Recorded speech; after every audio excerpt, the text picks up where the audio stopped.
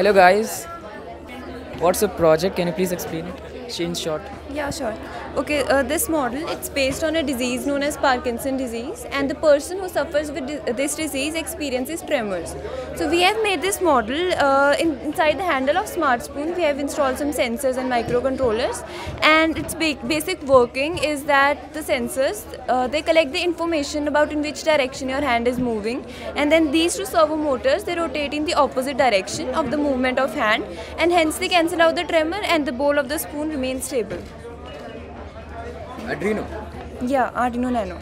Hey. Oh, is it working? Yeah, wait a second. It's initializing right now. So like right now the bowl of the spoon is stable and even if we move the hand it will remain stable. Yeah.